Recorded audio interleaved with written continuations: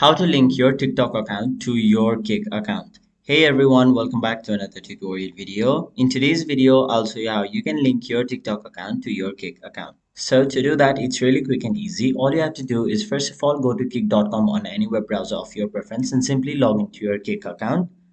Now once you've logged in, simply tap on your avatar which will be on the top right corner of your screen. After that, go to settings now scroll all the way down until you see the option social media. Simply tap on the option edit.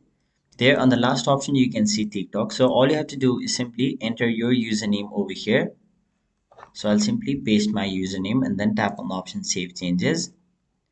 Now once you've done that, if you scroll up you can see that you have linked your TikTok account right over here. So if you tap on this option, you will be redirected to your TikTok account. So that is basically how you link your TikTok account to your Kick account. That was it for this video. Hope this video was helpful to you guys. And if it was, make sure you like this video and subscribe to our channel so that you don't miss out on further videos such as these.